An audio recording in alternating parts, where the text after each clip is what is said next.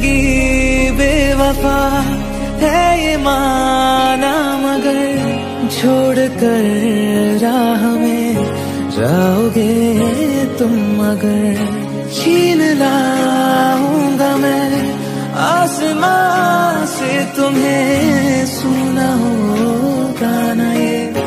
दो दिलों